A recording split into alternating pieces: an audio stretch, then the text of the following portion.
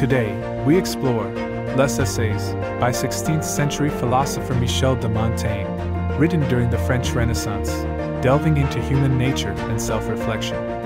In Les Essais, Montaigne ponders over a variety of subjects ranging from the nature of man to the art of conversation. His central theme is the philosophy of skepticism, urging readers to question established norms he advocates for self awareness, advising one to know oneself deeply and embrace human imperfection.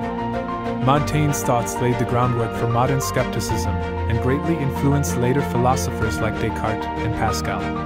His essays pioneered the literary form of the essay, making it a vehicle for personal expression and philosophical discourse. Today, Montaigne's reflections on human experience remain relevant. His call for introspection and understanding of our complex nature resonates in our fast paced world.